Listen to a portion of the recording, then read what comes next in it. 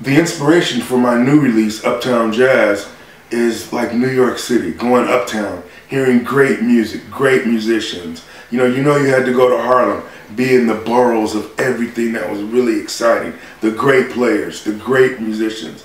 The song Shaniya came about um, because my daughter wanted me to do a new song and she wanted me to make it upbeat and uh, she just wanted something different from me and she gave me a lot of inspiration to do it.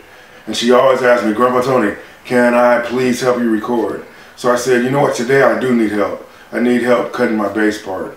And so I showed her how to record. She asked me, what did I want to name the song? And I said, type in your name.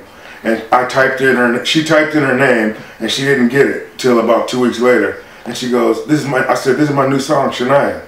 And she's going, you know, how did you get that? I said, remember when you typed in your name for that bass part you recorded for me? So we named the song after you for helping me that day. You know, when your grandpa and your granddaughter likes your music, that's a big thing.